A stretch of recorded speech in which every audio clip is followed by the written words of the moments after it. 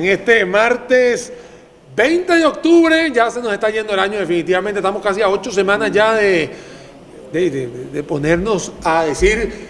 Yo no olvido el año, pero el anterior, ¿no? Pues el 19, porque el 20 sí lo quiero olvidar definitivamente. Han sido tantas cosas que han pasado en este año que, bueno, la mejor es ver hacia adelante. Estamos acá en vivo y directo, 12 y 5 minutos. Facebook Live de Daniel Suchar Sommer, YouTube Live de Daniel Suchar Sommer también, desde las instalaciones de WeWork en Real Cariari, en una tarde que se pinta, porque tengo aquí la visión hacia allá, yo, se va a venir un baldazo, señoras y señores, se va a venir un baldazo increíble, pero donde no cae baldazo es en Costa Rica Beer Factory y en el Hotel Oliconias, que son auspiciados de nosotros. Y todo esto es gracias a la tutela de Gemelos Producciones que hacen en vivo y directo todo esto, por supuesto, y hacen llegar este, ahí está, vean cómo se pueden ahí los, los gemelos, ahí está, y también está su señora Maide, que es la que manda detrás de ellos, así que ahí está Maide, para que, lo, para que así. Señoras y señores, hoy tengo un programa muy especial. Y les voy a explicar por qué es especial. Primero, porque la invitada es especial, el tema es especial, el momento es especial y lo que conlleva todo lo que vamos a ver hoy es más que especial. Entonces, la verdad, mira, sin más preámbulos, les voy a decir qué tengo acá hoy. Un programa en el cual la invitada es, no es cualquiera, ha jugado en la selección de fútbol y ha sido jugadora de básquetbol. Hoy, todos los domingos, nos deleita con sus comentarios en el fútbol femenino, que es el tema que vamos a tratar hoy. Pero antes de hablar del tema, tengo que darle la bienvenida a esta crack, a esta referente, a esta embajadora costarricense que ha puesto sus pies en una gran cantidad de canchas, tanto de cemento, de arcilla, de tierra, de grama, de zacate, de todo esto, de parquet, de todo, ¿verdad, Moni? De verdad que has estado en todo. Moni, muchas gracias. Mónica Malabase, por supuesto. Muchísimas gracias, Dani. Gracias por la invitación. De verdad, un, un, gusto estar aquí conversando con vos de esto que tanto me apasiona, que es el fútbol femenino. Y como bien lo dijiste, también por muchos años y todavía sigo jugando baloncesto. Eh, la fiebre puede más, la rodilla ya, tres operaciones, ahí otra esperando, Mira, pero ahí seguimos. Yo te voy a decir una cosa. Hace muchos años, muchos años atrás, hubo un momento en que Michael Jordan se retiró, o hizo un paso a un lado y eh, fue a jugar a los Chicago eh, White Sox, ¿no? que es mi equipo de béisbol. Y luego volvió a los Chicago Bulls y volvió a ganar y todo eso. Y le hicieron una pregunta. Le hicieron, o sea, si ya ganaste todos los Bulls, ya te fuiste a jugar béisbol, ¿por qué vuelves? Por plata. Y él le dice, no, es un tema de, de que te encanta, de que, de que te orgullece pues, vestirte de pa- pantalones cortos en este caso. Y él decía, yo no puedo vivir, yo no me veo sin jugar, en este caso, básquetbol. Yo, yo te digo una cosa, yo, yo lo veo así, mientras las rodillas den, mientras el cuerpo lo permita, sigo jugando porque me sigue apasionando, me divierto montones dentro del día a día, obviamente ahora es, es distinto, las prioridades son diferentes, pero dentro del día a día ese desahogo de ir a la cancha, entrenar, jugar, ir a los partidos, eso yo no lo cambio por nada y tal vez de aquí a 10 años ya no tendré opción, ¿verdad? Ya ahí ya Esa el cuerpo no va, no va a dar más. Entonces mientras pueda, lo sigo Moni, haciendo. Obviamente no te voy a hacer la pregunta cuál te gusta más, porque esa es una pregunta que no se hace. Lo que sí te quiero hacer una pregunta es, ¿qué puedes jugar hoy? O sea, ¿qué, qué- qué- a qué te dedicas más hoy en día? Hoy juego baloncesto. Yo ya desde el 2000, desde diciembre del 2012 me, me retiré del fútbol. De hecho, mi último partido oficial de fútbol fue la final de la NCAA allá en los Estados Unidos. Eh, quedamos campeonas nacionales. Sí, correcto. Quedamos campeonas nacionales y después de eso eh, me hice a un lado del fútbol. Me venía recuperando de mi primera operación, de, de mi primera cirugía de rodilla, de ligamento cruzado. Y venían los Juegos Centroamericanos aquí en, en Costa Rica, en San José, 2013. en el 2013, Claro que sí. correcto. Eh, yo tenía cuatro años de no jugar baloncesto, yo venía en vacaciones y jugaba con mi equipo en primera división, con Coronado, pero tenía cuatro años de no competir regularmente y quería, me hacía demasiada falta jugar básquet. Entonces dije, bueno, voy a jugar Juegos Centroamericanos con la selección de básquet y después pienso volver al fútbol.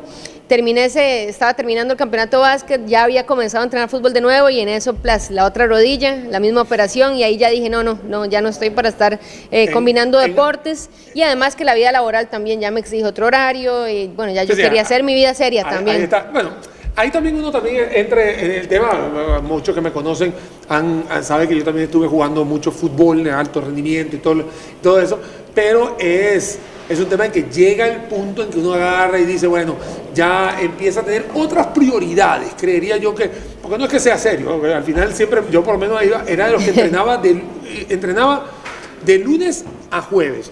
Viernes siempre descansaba porque sábado y domingo jugaba. Ya, un montón de partidos. Ah, mira, yo jugaba sábado con, con, la universidad y domingo jugaba con otra gente. O sea, era un tema que uno decía siempre tengo que jugar. Ahora hay otras prioridades, por supuesto, ya uno tiene responsabilidades, hay chicos, hay toda una familia. O sea, hay varias cosas que. Así, así fue mi momento. Yo, bueno, entrenaba todos los días porque sí, de de siete días entrenaba y jugaba siete, pero los fines de semana era que entrenamiento con la selección de baloncesto, U17, U20, a veces con la mayor, eh, partidos de primera división de fútbol, de baloncesto, porque sí por un buen tiempo de mi vida y practiqué ambos eh, al mismo tiempo, estaban ambas selecciones, fue, bueno, era de locos y con el colegio y demás, em, pero sí, ya por dicha le saqué el jugo al deporte. y te voy a decir una cosa, Mon, hay gente que cree que eso es soplar esas botellas. Hay, hay, chicos, ¿no? Y cuando digo chicos, no estoy hablando chicos masculinos, digo chicos en general, masculino, femenino. Hay gente que cree que eso, es, que eso es fácil, que uno cree que no hay que entrenar o que simplemente con que entrenaste dos veces a la semana ya puede ser selección. No, no, no, no, no, eso es, es, un estilo de vida, o sea, realmente es un estilo de vida y, y yo me acuerdo yo cuando estaba en el colegio eh, sacrificaba las fiestas y si al día siguiente tenía un entrenamiento, había una fiesta el viernes, no, no iba a ninguna fiesta, eh, y me perdí muchas cosas, el paseo de quinto año y demás, pero, pero para mí no es un sacrificio, porque, porque lo vivía y lo disfruté montones. Y ahorita, bueno, es otra etapa de mi vida, sigo disfrutando el deporte, pero sí, con otras prioridades, ahora mamá y bueno, la parte laboral y demás. Del otro, lado, del otro lado de la acera también lo disfruta, en el caso mío igual, eh, mi mamá que está conectada ahorita, bueno, tendría que ponerla acá para que ella sepa la cantidad de veces que yo también salía de noche y llegaba a las 12 de la noche, porque a las 8 ya había partido, o sea, ya había, ya había cosas que hacer. Entonces, son temas que eh, son muy lindos y, y la verdad que a toda la gente que que, practica el deporte hoy, que me ha tocado estar más de la mano del racquetball, en el caso mío, eh, yo también le digo a la gente, o sea, si usted quiere estar en el top 10, tiene que matarse para estar top 10. O sea, no, no, es que caminando va a llegar al top 10. va a tener que alimentación, va a tener que dormir, va a tener que hacer las cosas, entrenar, todo. Como, como, y me, me encantó ese pedazo de la entrevista que vimos la semana pasada con Tavo López y Carolina Vanegas, que Caro, Caro dice, es que ser profesional no es un tema de que le paguen a uno, o sea, es un tema de un estilo de vida. Y eso, bueno, yo muero con esa siempre. Eh, si usted no comienza, o sea, tal vez ahora las futbolistas todavía aquí en Costa Rica no son profesionales, a algunas sí les están pagando algo, ¿verdad? Pero como para ya vivir de eso eh, es muy difícil en este momento aquí en Costa Rica, pero ¿qué es primero? ¿Verdad? ¿Te comenzas a, comportar como profesional para que te comiencen a pagar o estás esperando que te comiencen a pagar para cuidar tu cuerpo, para, para ser una deportista completa? Y yo creo que, que tenés primero que actuar como profesional para comenzar a ganarte también que haya una remuneración económica y todo. Entonces, yo sé que Carolina lo hace y muchas lo hacen y así tiene que ser. Y, usualmente, cuando estamos hablando de ejemplos a seguir, vamos a hablar de Carolina Venega, de Caro. Eh, eh, Caro es de las que se mata en cancha y bueno,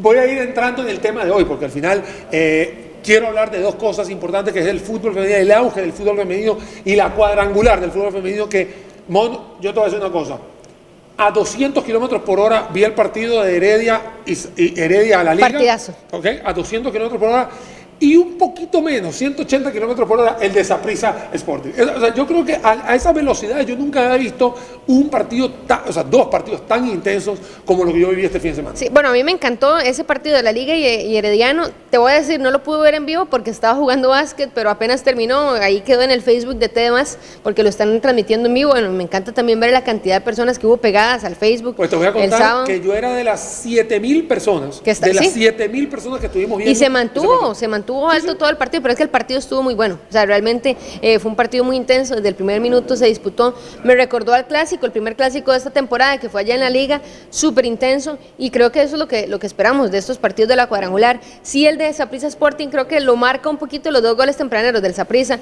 Eh, y, y que cuando Sporting anotó no tuvo esa capacidad de respuesta que yo pensé que iban a tener. De hecho, eso es copy-paste de lo que dijiste tú misma, porque mismo, así mismo te lo pregunto. Me acuerdo, tu compañera Melissa Alvarado te lo preguntó y tú mismo dijiste, yo estaba esperando a que reaccionara rápidamente Sporting y que eh, al final se, cayó porque, a ver, te voy a decir una cosa, la jugada que hace Carla, o sea, me, quito el sombrero, pero bueno, vamos a ir poco a poco porque aquí vamos a cuadrar, señoras y señores, hoy tengo a Mónica Balabasi, ella, bueno, ella se presenta sola, una de las grandes deportistas que hay en Costa Rica, pero hoy eh, tiene un, digamos, una naturaleza como comentarista y por eso, la, no porque sea comentarista, la invité, es que la invité para que hablemos sobre la cuadrangular y el auge del fútbol femenino. Pero bueno, como se dieron cuenta, ella habla mucho, yo también, y estamos muy emocionados porque de verdad, te digo, los dos partidos, o sea, si por ahí espera, saco el día, esta cuadrangular va a estar genial. Así que quiero empezar primero por el, bueno, eh, Ladies ¿por cuál quiere empezar?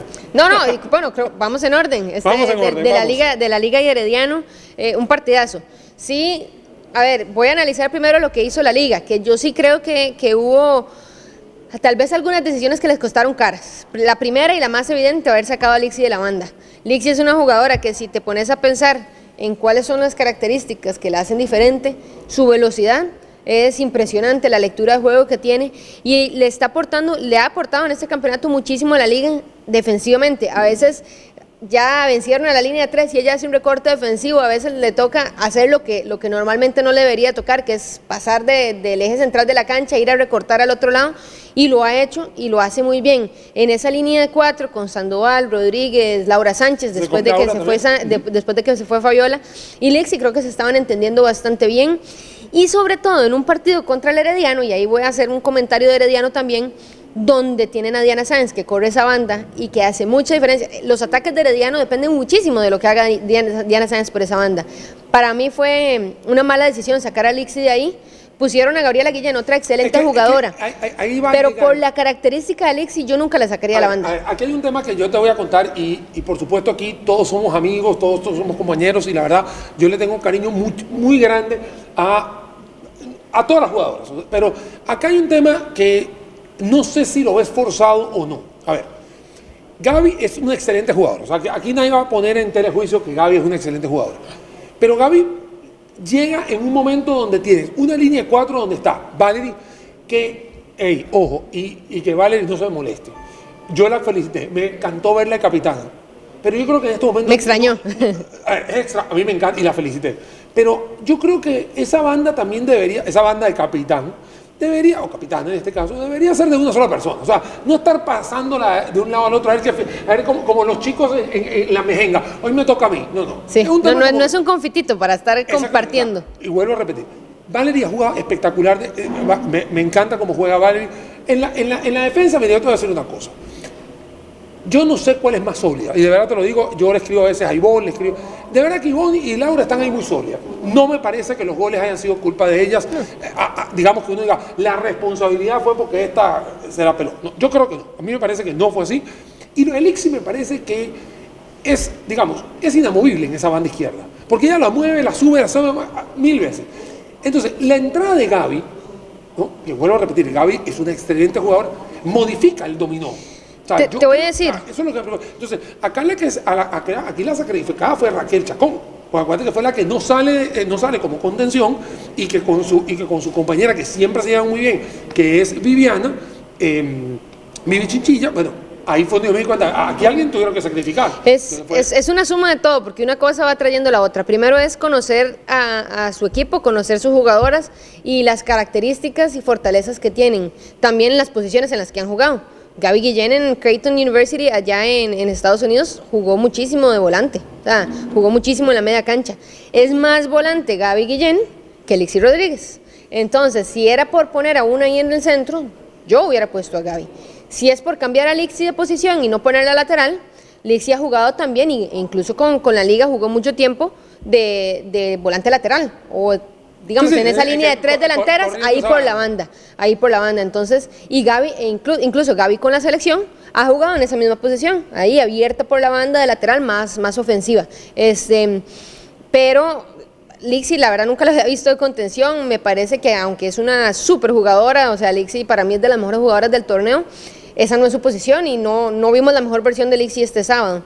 Em, luego, el tema de dejar a Raquel Chacón en banca. Eh, a ver, el técnico tiene su lectura y supongo que si lo hizo así, eh, algo, algo, correcto, algún plan había tenido que evidentemente no le salió. Pero cuando Raquel Chacón está de contención, le da libertades a Viviana Chinchilla para el ataque. Viviana es una muy buena jugadora ofensiva que estaba filtrando pases, estaba haciendo esa voz cantante en el medio campo de la liga, pero cuando ya le das toda la, la responsabilidad de la, de la parte defensiva en el medio campo, sí siento que disminuye un poco.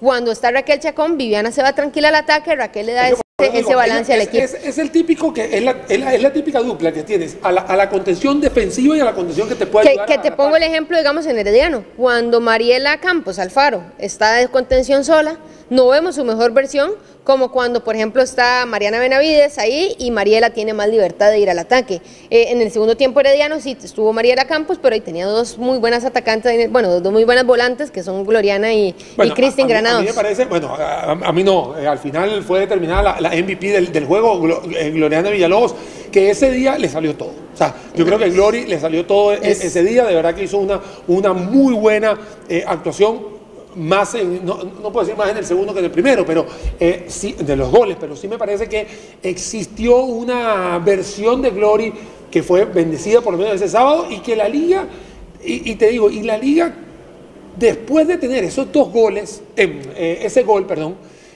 creo que se desinfló. y, aunque tuvo aunque tuvo sus opciones, pero tampoco andan finas sus, sus, goleadoras, ¿verdad? Mira, a mí te voy a decir una cosa, yo no, sé qué vas a opinar con lo que voy a decir.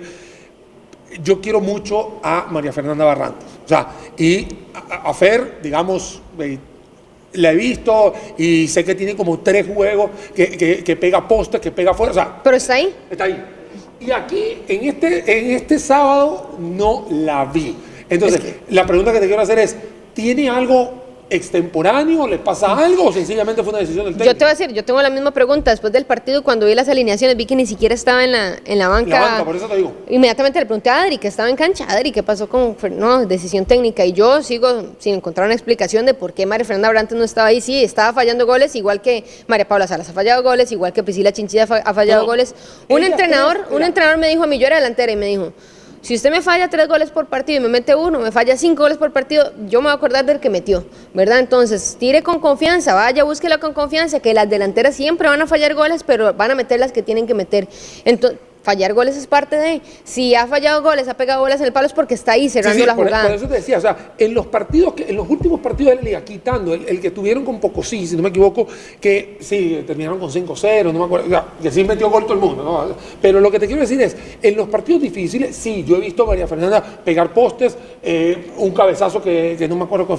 Incluso anotar goles importantes. No, no, y anotar goles. Me extrañó mucho no verla. Ojo, no tengo nada contra Raquel Rodríguez. no, no.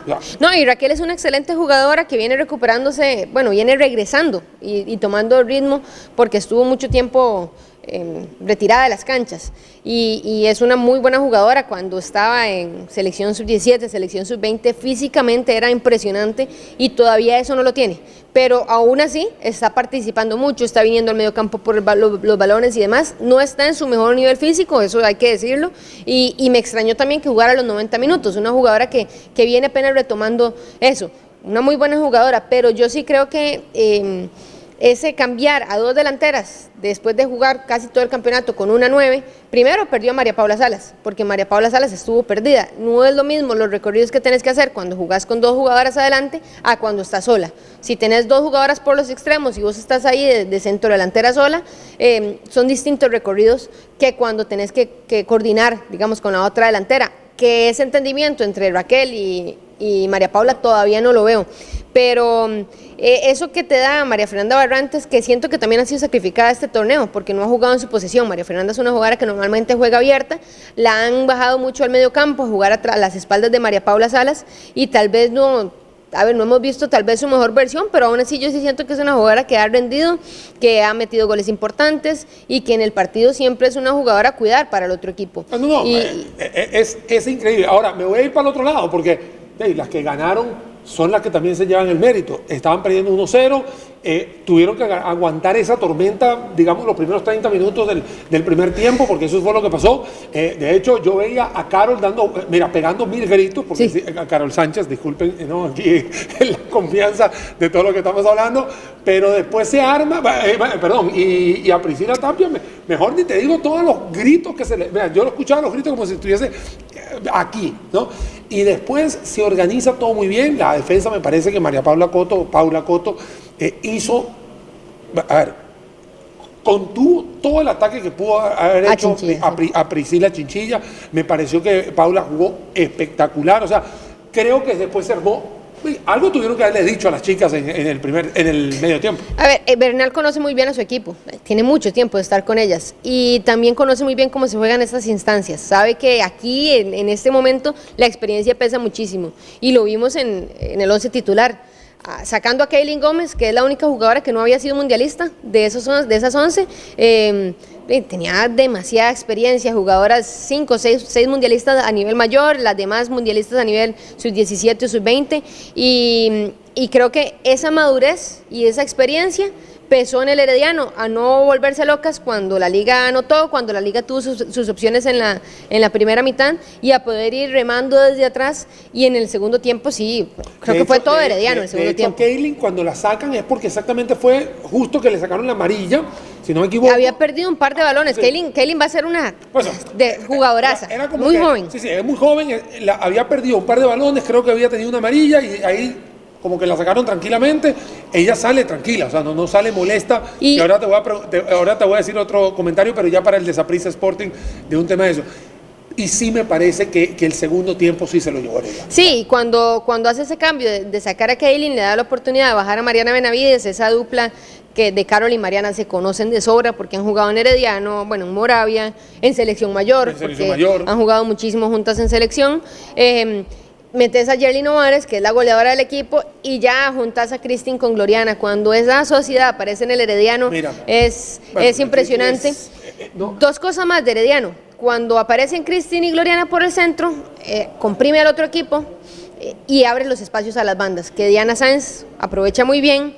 Y para mí, una de las cosas más importantes que ha tenido Herediano en este cierre es que ha recuperado el nivel de Wendy Acosta, que tuvo un muy mal inicio, porque hay que decirlo, el inicio de Wendy Acosta en el torneo no fue bueno, estuvo ausente en muchos partidos por temas personales y demás, pero se ha logrado meter de lleno en este cierre, eh, también mérito ahí del técnico que, le, que ha estado encima de Sí, que le ella, que le ha dado la confianza, le insistió y, y necesitan la mejor versión de Wendy para, para poder tener es- eh, ataques importantes en ambas, ban- en ambas bandas, porque por la banda izquierda Paula Coto no es, no es atacante, es central, que le han hecho lateral y que creo que cada vez se siente más cómoda. Buenísimo para el fútbol nacional tener Mira. una na- lateral como Paula Coto que tiene buen biotipo, porque generalmente hemos tenido laterales muy pequeñas. Muy pequeña. No, y sabes que a mí lo que me llama la atención es que Paula juega de- en, el- en la, en la banda izquierda siendo derecha, o sea, Correcto. siendo pierna derecha. Siendo central y derecha, y lo está haciendo bien. Y otra cosa que ya para ir, mira, son las 12 y 27, y es que aquí- yo sabía Vamos que así. esto se nos podemos- y tenemos que ir así porque se nos va la hora y también falta el otro partido que vamos a analizar. A mí me encanta mucho, y te lo digo, cuando entra Daniela Coto, ¿no? Y es es que Daniela eh, es una persona que su fisionomía, uno, lo último que podría pensar es que es una jugadora profesional de fútbol, uno, no, una persona mucho más maciza, pero el nivel de control que tiene, de, a ver, el nivel de control de pelota que tiene esa mujer, el, la, yo creo que es la pegada más fuerte Sí, en, en sí, Costa sí, Rica. remate remate, tal Yo vez, creo sí. que es la mejor, yo creo que en todo Costa Rica no Remate hay- más potente. Ojo, y estoy hablándote incluyendo las legionarias. Yo no creo que haya alguien en este país que patee más. Bueno, tú has estado en. Raquel, tal vez, Raquel, pero sí. Raquel, eh, Ra- eh, Raquel Rocky. Sí, Rocky, Ra- correcto. Rocky podría ser la otra que podría patear, pero lo que hace Daniela es increíble. Y zurda, sí, sí. y zurda, Paco. Y, y en esa posición que la están poniendo, la ha ido aprendiendo, porque no es fácil jugar esa posición. Cuando ella está acostumbrada a venir del medio campo con el marco de frente, a pasar a jugar de nueve, de espaldas al marco, mayoritariamente, eh, no es fácil. Pero se ha visto más cómoda, pero lo- lo- la ventaja de tener ahí a Daniela de nueve, que, que no es su posición, es que si logra conjuntar, si logra girarse, ya es una Yo- amenaza yo- yo de gol. cosa, yo he visto patadas, patadas no, pe- pegadas, ¿no? porque no son patadas, pegadas al balón, que te hablo unos 40 metros, que yo creo que hasta jugadores en la parte masculina podrían estar envidiando esa patada que tiene esa Sí, mujer. tiene, tiene, mu- tiene, sí, tiene muy buen remate Marco. Ah, increíble. Y, y cuando ingresa Daniela es como cambiar de marcha en el Herediano, es cambiar completamente eh, la, la propuesta, porque sí, perdés un poquito de vértigo, de velocidad, ganás control Sí, y tenés esa, esa Sí, amenaza pero es que- siempre de gol. Mira, yo te, yo te digo, cuando yo veo a Daniela que agarra la bola, es como estos brasileros que son que tienen la bola pegada al pie, o sea, que, que sabes que, o sea, que hay que meterle entre dos. Y de hecho, los últimos 10 minutos prácticamente Daniela hizo esa jugada como seis veces. de que se la dieron a ella, se iba a la banda. Sabe usar el cuerpo muy bien. Sabe usar su cuerpo. Entonces, creo que también eso que, como acabo de mencionar, fisionómicamente no es el estereotipo de, una, de un jugador o jugadora profesional.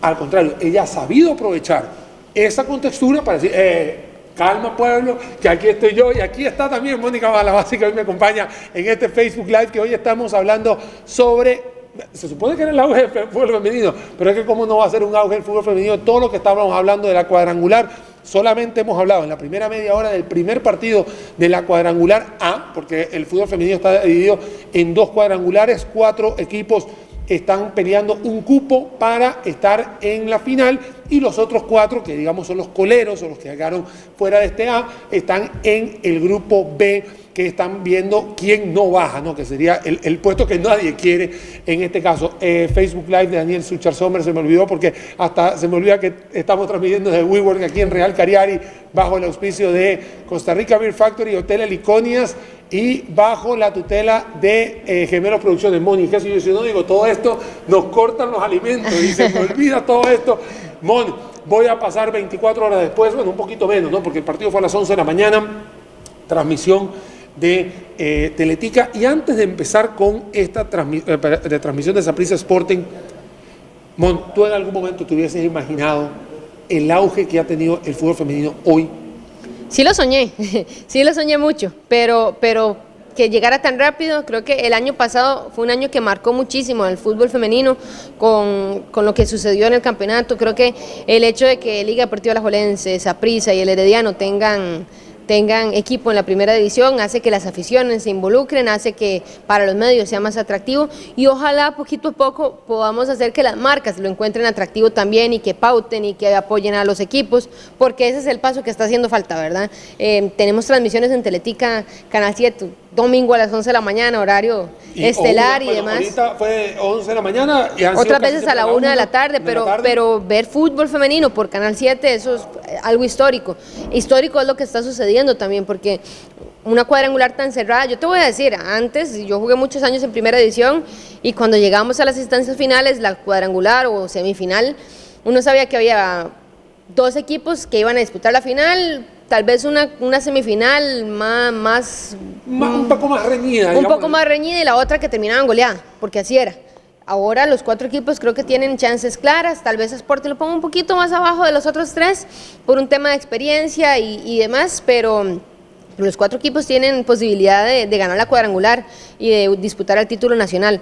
Entonces sí es histórico, es histórico lo que estamos viendo. Y, lo tengo que decir, antes de entrar a este, esta entrevista, estábamos hablando fuera de cámaras, obviamente, y le estaba diciendo a Mónica que a mí me encanta ver programas hoy, y no es por el nuevo normal, el COVID, no, estamos hablando del auge de que las chicas están yendo a diferentes programas de televisión, estuvimos viendo un programa que casualmente tiene que ver con la plataforma de TDMás, que lo lleva el periodista Gustavo López, eh, entrevistando a Carolina Venegas, o sea, no, nadie se hubiese imaginado, no Carolina, estoy hablando de un programa donde le sacan a, una jugadora toda esa experiencia, y la hizo espectacular, no solamente Carolina como, como, como es ella como persona, hemos visto una gran cantidad de, de personajes que han estado en programas de radio, en programas de televisión, en programas de Facebook Live, o sea, ya hoy en día creo que sí hay ese, ese trampolín para, para, sacarle más puntos ya, al lápiz. Ya la gente se identifica con las jugadoras, conoce a las jugadoras más allá de lo que hacen en cancha, conoce sus características, conoce un poquito también de su trayectoria y eso es súper importante. Si no está esa identificación, esa identidad con, las jugadoras, es difícil que el, que el, fútbol femenino siga creciendo y eso poquito a poco lo hemos ido logrando. Conlleva también una enorme responsabilidad porque antes la liga perdía, eh, esa prisa lo goleaban o jugaba malísimo eh, hacían cambios en la alineación terribles y no pasaba nada, nadie se da cuenta. La gente veía el marcador y decía, al final Saprissa empató, ganó, perdió. Ahora hay una enorme responsabilidad porque la afición está encima, ya lo vimos con la Liga Deportiva La Valense. Perdieron el, perdieron el liderato y se vino encima la afición y ya uno escucha en redes sociales, lee y demás. hoy tienes cuatro, tres periódicos nacionales que el lunes, ayer, sacaron, claro. no en portada, porque estamos hablando en la parte de deportes, sacaron en lo que sucedió en la cuadrangular final. Hoy estamos viendo gente que en las redes sociales te está transmitiendo los partidos y voy a irme con la cuadrangular B, donde yo tuve la oportunidad de ver el partido de Dimas contra Coronado. Lo pasaron en el partido, o sea, lo pasaron por el Facebook Live. La cuenta de Dimas Escazú está haciendo un buen trabajo, digamos, de, marketing en ese caso.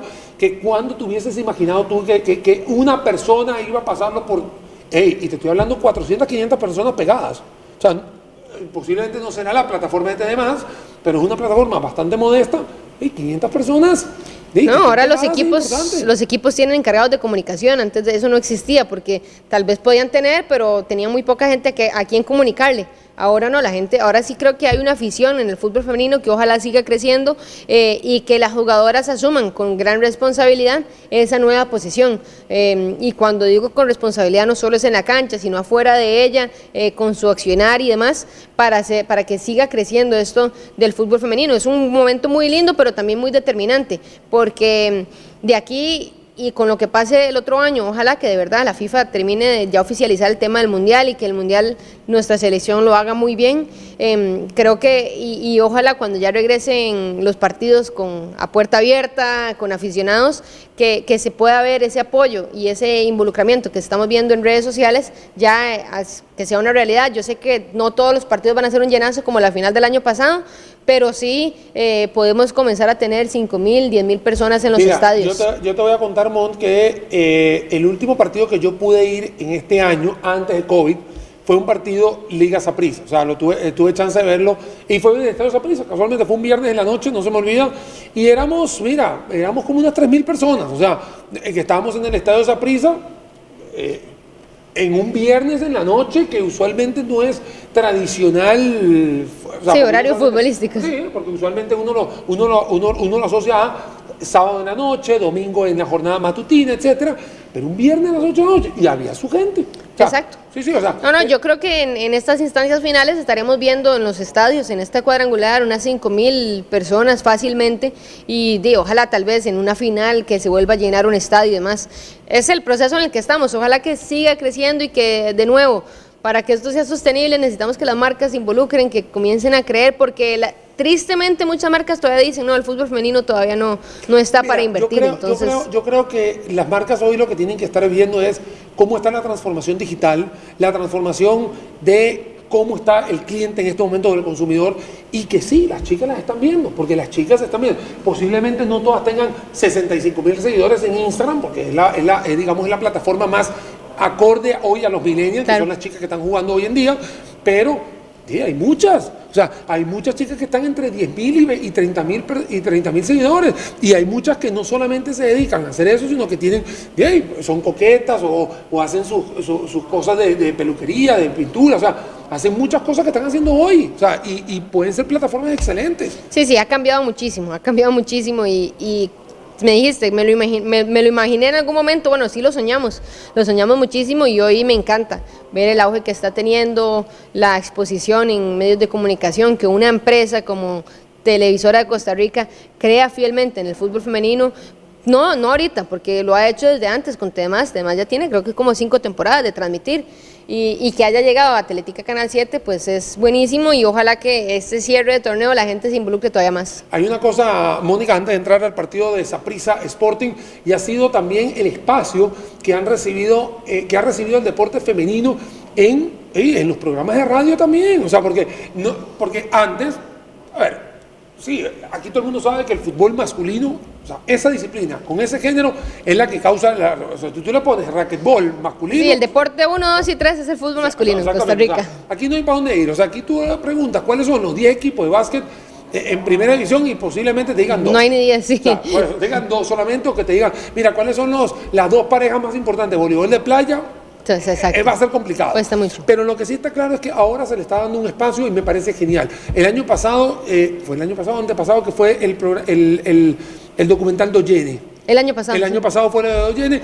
A mí, yo personalmente dije, en mi Facebook, en, mi, en, mis redes sociales, dije, esto debería ser obligatorio para todo el mundo verlo, no tanto en la parte deportiva, sino también todo lo que ha sido la parte social, esa parte que ustedes tuvieron que romper paradigmas, o sea, hay muchas cosas que suceden dentro de los camerinos, las chicas, o sea, son cosas que uno debería decir, estos son los documentales que debería el MEP, ahora me voy a meter en algo político, pero el MEP sí a bajarlo, sí a bajarlo, a decirle a los chicos posiblemente mayores de 13 años que... Que, ya entienden un poquito más. Que, que, entienden un poco más, porque hay algunas situaciones que seguramente chicos de menores de 10 no lo van a entender, pero son documentales que están hechos aquí, aquí por nuestras chicas, bueno, por ustedes y que deberían estar. Sí, sí, que cuentan la historia de lucha de, las mujeres en el deporte, porque para ninguna ha sido fácil, o sea, ninguna la ha tenido sencilla y, y, yo sé que también en el fútbol masculino o en el deporte masculino para los hombres igual es difícil, pero sí yo creo que para las mujeres ha sido más, más complicado ir ganándose esos espacios que poco a poco vamos teniendo y, y hay que, que tal vez, no sé, hacer muchas cosas buenas para que, para que llegue ese, ese poquito apoyo que poquito a poco va llegando.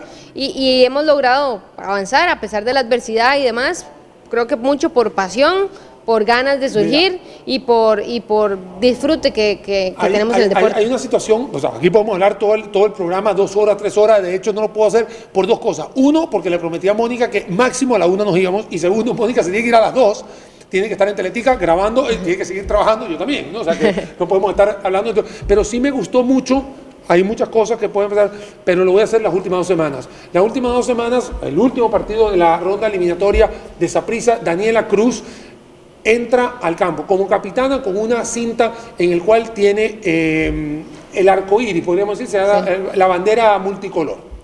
Lo había hecho Carolina Venegas un par de semanas sí, antes. Claro que sí, y a Carolina yo la y desató una gran cantidad. Una locura, sí.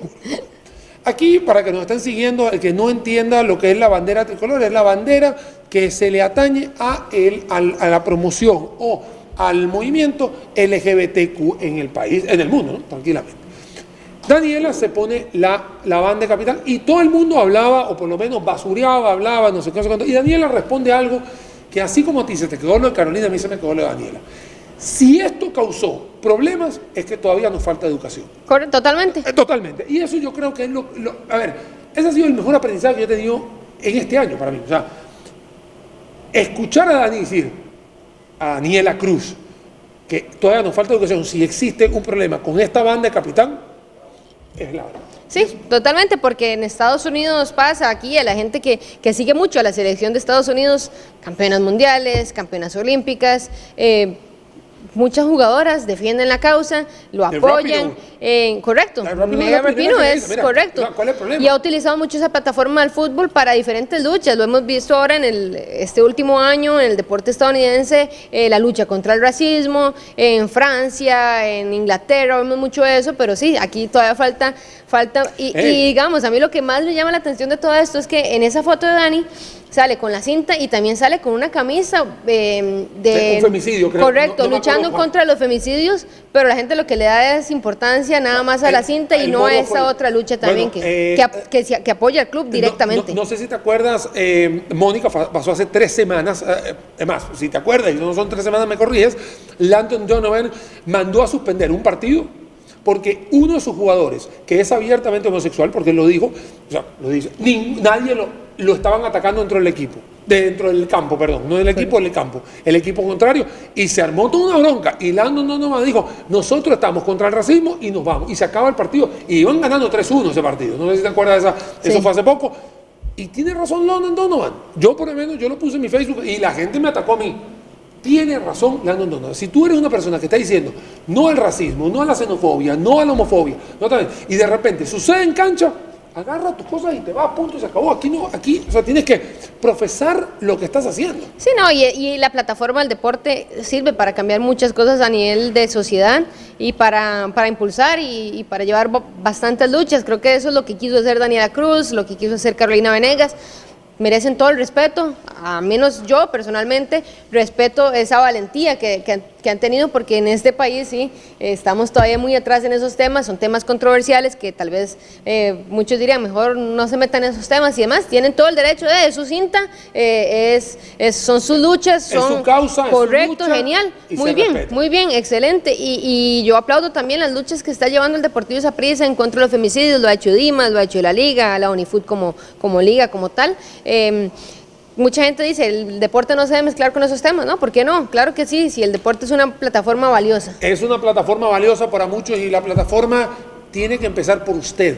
Usted que está viendo esto y que puede tomar la valentía de apoyar a todo el mundo, porque en realidad todos lo necesitamos. Si el deporte es una de las plataformas, la educación es otra plataforma, si los análisis economía son otra plataforma, al final todo depende de cada uno de nosotros. Son las 12 y 44 minutos de este martes 20 de octubre y aunque no me lo crean, Todavía no hemos terminado lo que empezamos, que tiene que ver con el cuadrangular A, porque cuadrangular B es otro, cuadrangular A, que empezó a 200 kilómetros por hora entre Herediano y la Liga Deportiva La Juelencia. Ahí se nos fue la primera 25 minutos del programa. Hoy Mónica Malabasi, ex seleccionada nacional en fútbol, en básquetbol, una gran comentarista deportiva y no la voy a desaprovechar porque nos quedan 15 minutos de reposición, porque te dije que a las dos sí, sí, sí, sí, Y voy a hablar sobre el partido de Deportivo Saprissa Sporting goles de Camerino. Sí, sí, que marcaron el partido, que marcaron muchísimo el partido, pero sí en el primer tiempo a Sporting le costó mucho el medio campo. Y cuando pensasen que, que les costó ganar el medio campo teniendo a María Fernanda Chavarría en la banca,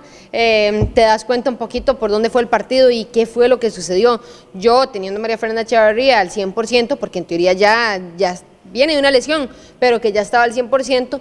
En un partido como ese, ante el Saprissa, en estas instancias, creo que su experiencia, su control, su liderazgo media cancha era importantísimo. Y ahí perdió, perdió el partido Sporting, porque lo pierde en media cancha em, y no se logra reponer. Cuando hace el gol Carla Villalobos, yo dije, este es un buen momento para hacer la variante, para volver a tener el control del partido o para intentar tener el control del partido por primera vez y no lo hacen así, más bien después del gol de Carla, Saprisa llega con peligro dos o tres ocasiones, se vuelve a bañar de la pelota. Es que, te voy a decir una cosa, a mí, a mí me hacen un gol a mí así y yo me deprimo. O sea, el gol que hace Carla, no le quiero quitar el mérito a Valeria del Campo, no le quiero eh, quitar el, el mérito a, eh, a, Carolina Venegas, que, son, que fueron las goleadoras. eso no se está quitando, pero que te hagan el gol como te lo hizo Carla, porque Carla lo hizo exquisito. O sea, la verdad fue una jugada exquisita, le ganó la espalda a, a, las, a las defensas, hizo perfecto.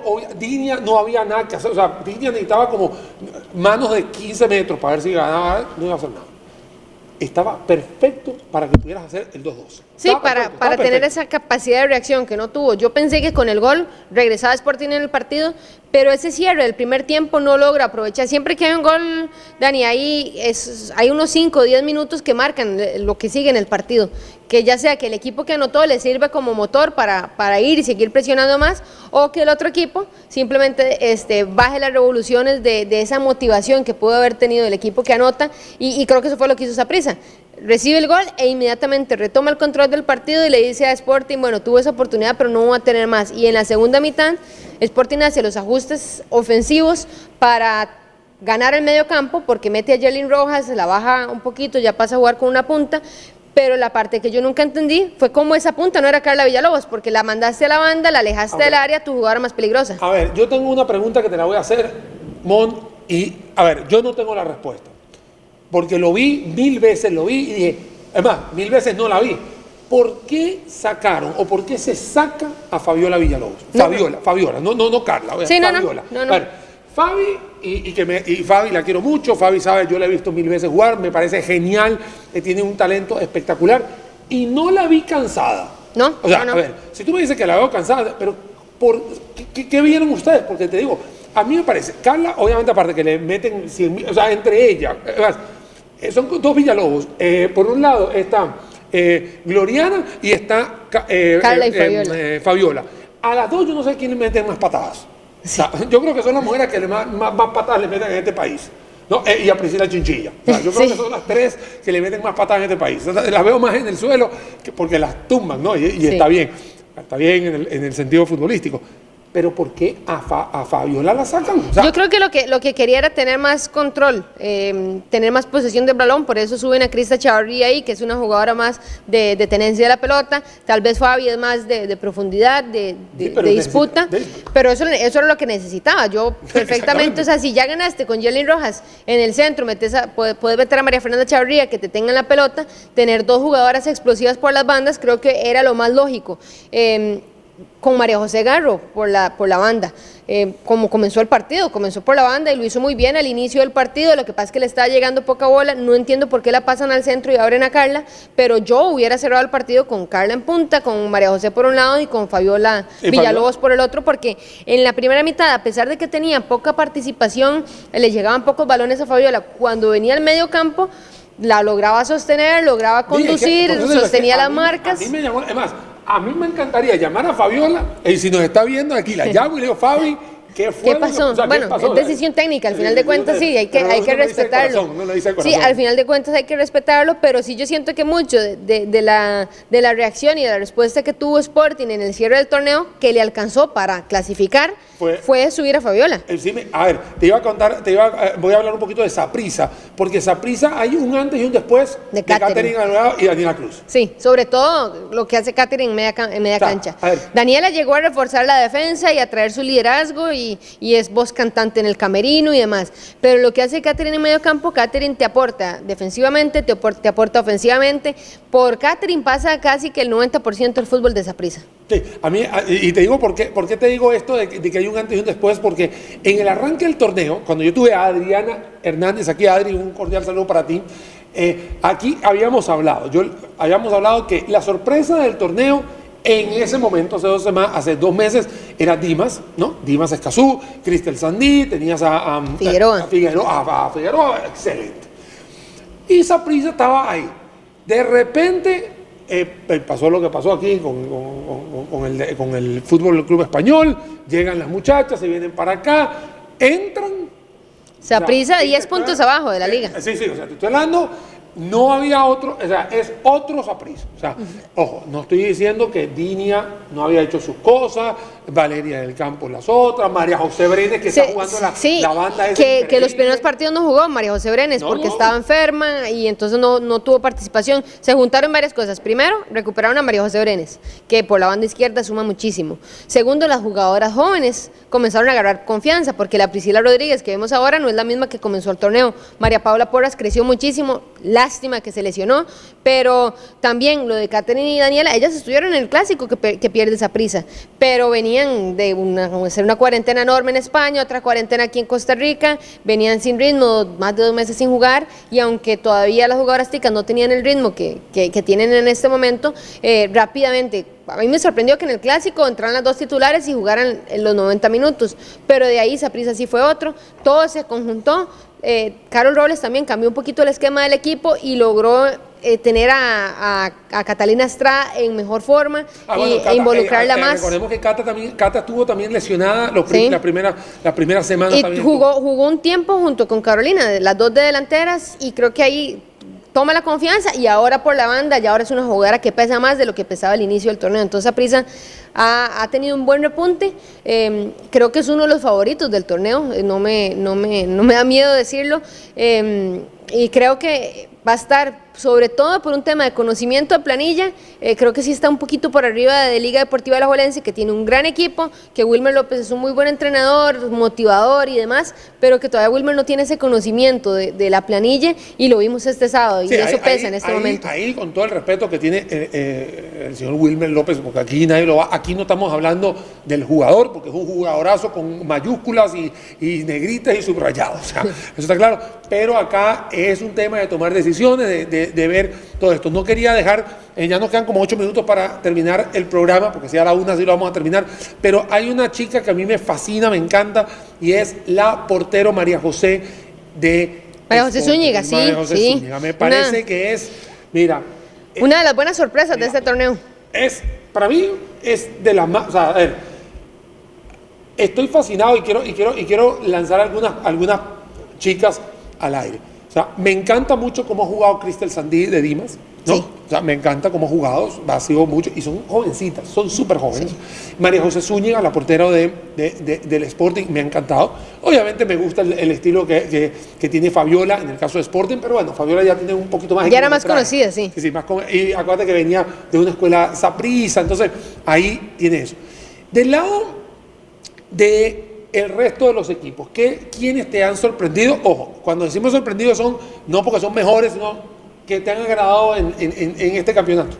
A ver, hay una jugadora que yo no había visto, la verdad, en, la temporada pasada, que es de Dimas Escazú, que me encanta, eh, Joanca Villanueva. Joanca. Que me encanta cómo juega físicamente súper fuerte, veloz, entra duro, ha mejorado técnicamente. Lo vimos en el, en el como, como fueron pasando los partidos, mejoró muchísimo en eso de salir jugando. Para mí, Joanca es una jugadora 100% seleccionable, me encantaría verla en selección. Daniela Arias. Eh, bueno, Daniela es una jugadora que, es mundialista.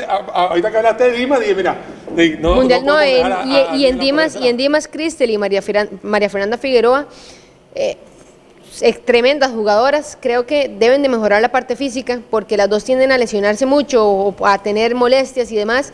Con la potencia que tienen, si mejoran físicamente, creo que son jugadoras que deberían de estar en selección nacional también. Y es parte de, esa nueva sangre que, tiene que llegar a selección, que tiene que, llegar y aportar jugadoras con biotipo diferente a lo que hemos tenido y que pueden llegar a hacer diferencia ya a nivel internacional con selección cuando nos enfrentemos a, a las islas, cuando nos enfrentemos a Canadá, Estados Unidos y México en la liga.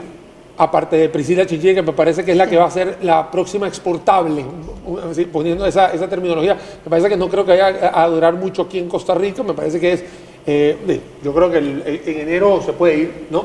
Pero en la liga, ¿quién ha, rescatado así? Bueno, este año yo sí he felicitado mucho a Yalitza Sánchez, que, que mejoró, mejoró muchísimo físicamente y está haciendo un muy buen torneo. Eh, Valery Sandoval creo que es parte del futuro que tiene Liga Deportiva La Jolencia, han jugado muy bien y va creciendo en esa banda. Y de ahí la liga tiene jugadoras jóvenes que están haciendo bien las cosas. Eh, tal vez decir una se me van a quedar otras porque muy homogéneo. muy homogéneo el nivel. Lo que pasa es que yo como siempre he jugado, como yo siempre he jugado defensa, siempre veo a las defensas. Entonces, yo en el tema de la liga siempre veo a Ivonne y veo a Laura. Entonces, Cristian Chávez, que, que ha entrado poquito, pinta bien, apenas está dando sus primeras armas. Siempre las veo. Entonces, y, y una que, se equivocan o no se equivocan, sí, no claro. Y una jugadora que me encanta en el campeonato nacional, que debutó este año, que es del Saprisa, Priscila Rodríguez. Ojo, ojo, Dani, con Priscila Rodríguez me recuerda mucho a Gloriana Villalobos cuando, comenzó. Un cerebro en la media cancha es parte del futuro que tiene Costa Rica y bueno, se va a perder de vista. Ojalá que siga estudiando, que pueda irse como seguir los pasos de Raquel Rodríguez, irse al fútbol universitario, desarrollarse ahí, después ser profesional porque tiene, tiene todo esa, esa muchacha. Y me encanta ver cómo le están dando responsabilidades defensivas también, no solo de días, y las está asumiendo muy bien, pero tiene esa inteligencia, esa picardía que le vi al inicio a Gloriana Villalobos. Vámonos con, vamos a cerrar el programa con el, con, el equipo, digamos, que está sembrado en final, ¿no? Que es Heredia, ¿no? El Herediano, alguien que te haya llamado la atención o en realidad tener prácticamente la mitad de la selección ahí. Herediano tiene una selección, tiene una selección y y tiene muchas jugadoras de la mayor, de la sub-20, entonces pocas sorpresas como tal, sorpresas como tal muy, de muy pocas porque ya conocemos de sobra a esa jugadora. Hay que consta que acabamos de hablar una hora completa y estuvimos la primera media hora hablando Hablando sí casi que de la Liga Herediano, pero jugadoras jóvenes que creo que pintan bien ahí en el Herediano, eh, Kaylin Gómez va a ser una súper jugadora, una súper central y aprendiendo a la par de Carol, de Carol Sánchez, creo que, bueno, tiene a Carol, tiene a, Benavides, a, correcto, a Priscila atrás, a Paula es un diamante en bruto, Kaylin, y tenés, para, para, todas las líneas, tiene experiencia. Entonces creo que es una jugadora que va a marcar muchísimo. Y Jerlin, y Jerlin que es una goleadora nata, que también viene haciendo las cosas muy bien. Vea, vea aquí un, mensaje de nuestra, como digo yo, nuestra capitana dice, están emocionados, dice Ivonne, Ivonne, Ivonne. Rodríguez, que es la, yo siempre he dicho que es la capitana de, la Liga Deportiva. Ivonne, un besotote enorme para ti todo va a salir bien, de verdad. Fui en el, en el 2005, fui campeona de primera edición con Ivonne en San José. Mándele saludos ahí. y compañeras en selección nacional. bueno, la quiero montones, Ivonne, que también ahora es mamá. compartimos ese amor por nuestros hijos. La cosa es, Mónica, mira, estoy agradecido. Mira, se nos fue todo el programa y siento de verdad que no dije nada. O sea, que me hace falta sacarte ese Hay provecho. Hay muchísimas cosas, pero lo que me encanta de verdad, no solamente ese mensaje que nos está diciendo Ivonne, que dice, están emocionados. Sí, estoy emocionado. Daniel está emocionado porque veo que existen, que sí se puede, que sí se pueden sacar las cosas adelante. Y te voy a contar... Em, Mónica, mucha gente no lo sabe, hace 20 años, sí, hace 20 años, yo soy un poquito más viejo, lo que pasa es que las canas me las topo por, con el gel. Hace 20 años yo entrené al, equipo de, femenino de la universidad donde yo me gradué y em, sentía todo eso. y que hoy en otro país, bueno, en este caso, y, bueno, no tanto, porque Venezuela sí ha, crecido bastante, por ahí tuvimos a Leina Castellano, compañera de Gloriana Villalobos, pero hemos visto cómo el fútbol femenino fútbol femenil, como se le dice en México, que está, bueno, increíble. En los Estados Unidos, mejor ni hablamos, Canadá.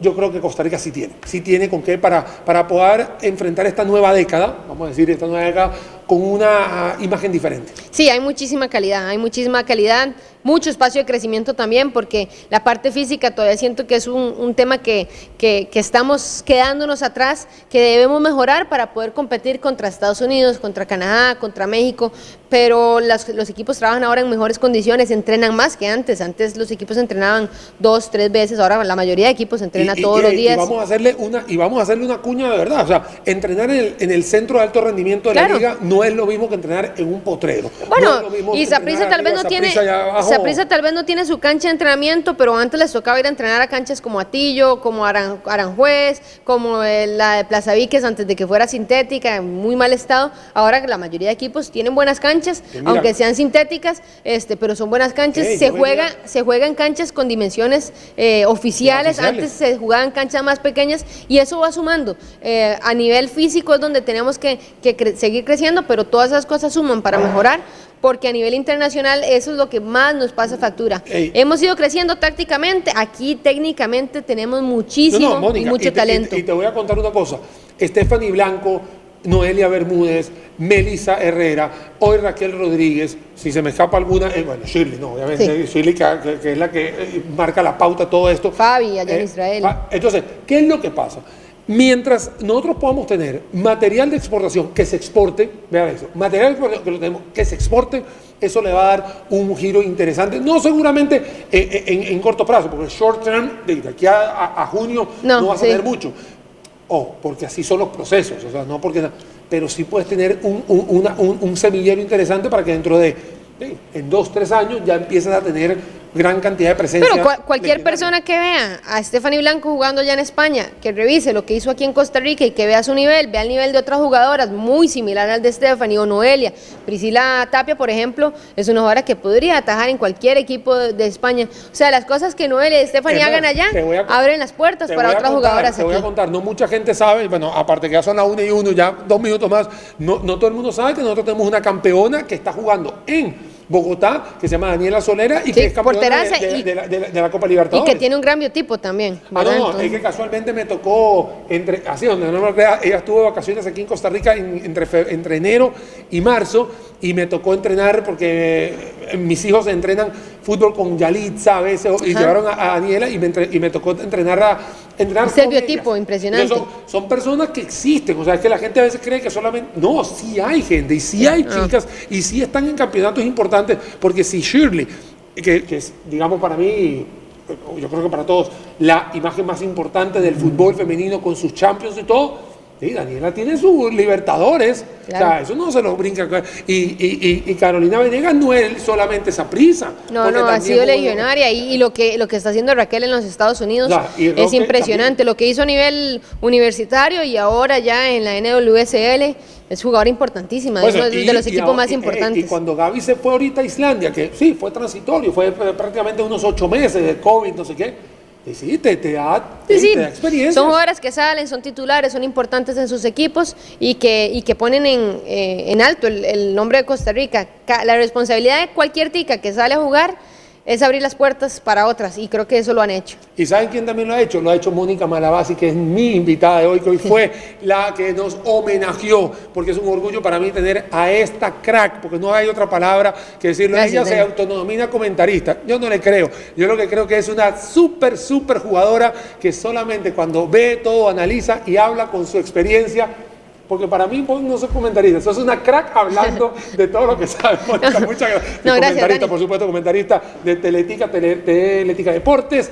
Y todos los sábados o domingos te podemos ver y también ahí en TDMás también, ¿verdad? Sí, además tenemos programa los martes a las 7, o sea, hoy en la noche vamos a estar ahí. Este, ¿Quién va a estar invitado hoy? Por tele, vamos a hablar de la, de la jornada, vamos a hablar nosotras, analizar un poquito todo lo que pasó. Esta conversación que acabamos de tener la tendremos con, con Adri para, para hoy en la noche, analizar un poquito lo que pasó en las cuadrangulares. Los martes en las mañanas tenemos cambio de juego. Hoy tuvimos a Víctor Alfaro justamente hablando de, de ese crecimiento que, tiene, que está teniendo la Liga Femenina y el nuevo inquilino que va a haber el otro año, que todavía no se sabe quién es, pero habrá nuevo equipo. Y también voy a hacerle de una vez publicidad, eh, no está aquí, pero es una de tus compañeras, que es, que, que es Melissa Alvarado, que ya tiene su programa los jueves. Los jueves en, en Food TV, correcto, los jueves a las 8 y 30 de la noche en Food TV, entonces hay fútbol femenino de sobra ahorita en televisión nacional, gracias a Dios. Hay otros emisores de radio que tienen sus, sus programas que cubren y, siguen el fútbol femenino, así que es un muy buen momento y gracias a Dios ahí, ahí vamos y ojalá que el fútbol femenino siga creciendo, que siga habiendo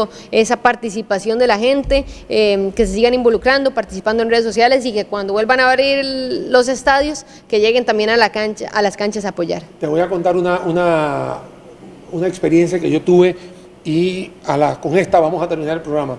El año pasado eh, yo tuve la oportunidad de ir al primer partido de la liga, de, o sea, de, la liga femenil, en el cual se jugó en el Cuti Monje, era el partido entre Saprissa y Pocosí.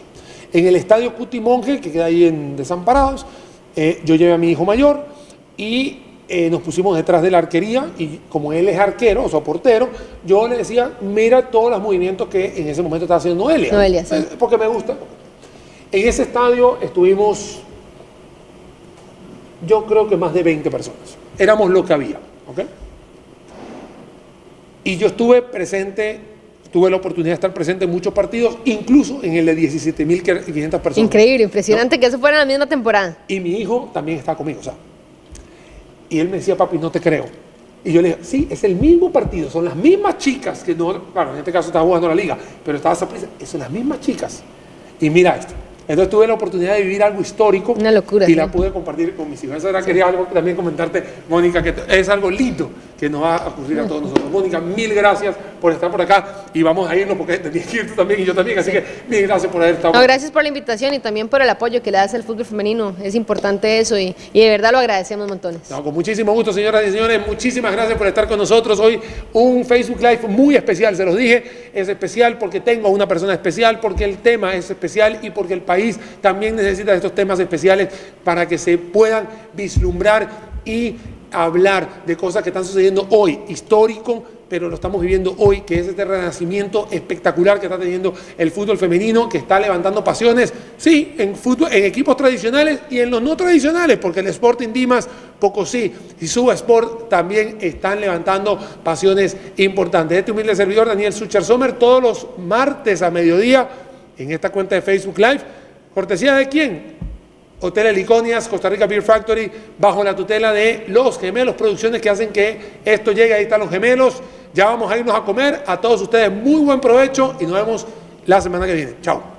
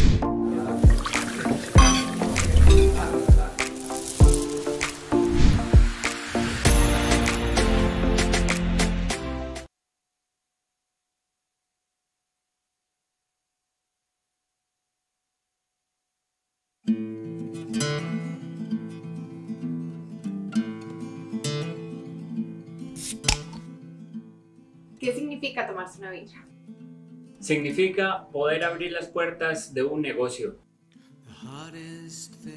Significa poder desempolvar las mesas. Tomarse una birra significa dar empleo. Significa llevar el sustento a nuestros hogares y los de muchos. Significa estar juntos, pero separados. Significa brindar sin contactos. Por eso ven, que suenen los vasos y no las manos. Salud. Salud.